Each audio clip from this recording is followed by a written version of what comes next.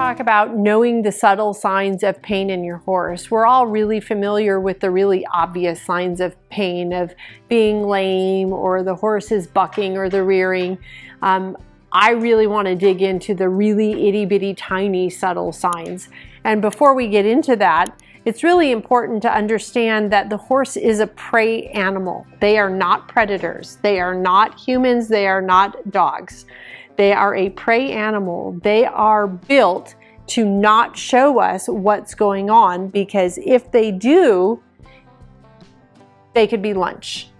Um, if they show their weakness and they're out in the wild, they could be, you know, they're showing that they're the weakest link. And so the horses really don't like to do that. Um, they, it's just their innate nature not to go there. This is a great example of a horse being a prey animal. Despite the fact that she's lived in captivity, when I say captivity, domestic horses, um, she's uh, grew up, born, raised uh, with human interaction. Um, she's a prey animal. She's on the lookout. What was that noise? Is that coming to eat me? Do I need to be prepared to fight or flight? Right? Do I need to be ready to run away or is this danger? Do I need to alert the herd to that? Um, and so that goes hand in hand with the subtle signs of pain.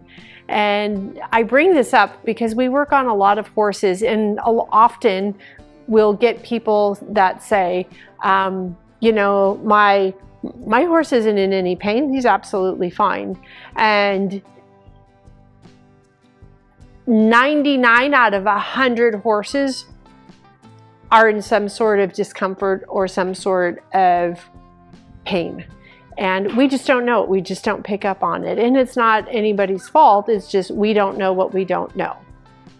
So the subtle signs of pain in your horse to watch out for. First of all, know their innate nature. This mare is pretty quiet. She's incredibly sensitive. So the first thing I'm going to notice is if her demeanor changes at all or if her behaviors change at all.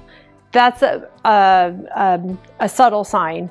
Um, another subtle sign is if she flinches. Like if I go to brush her and she flinches somewhere, horses aren't ticklish, that's actually a sign that they're experiencing discomfort somewhere. If they're girthy, again, after you've eliminated it as a training issue or um, or an acceptance of the girth,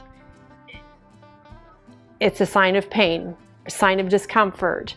Um, do they pin their ears back when they normally wouldn't pin their ears back? That's another indicator that they're communicating to you that they're uncomfortable. So you want to, if don't, if they don't stand for the farrier, if they normally stand, I have a 24 year old mare, she's rock solid, stands great for the farrier. Times that she doesn't stand great and she's acting up, she's got something going on in her body. So you really want to focus on those things because with horses, everything means something.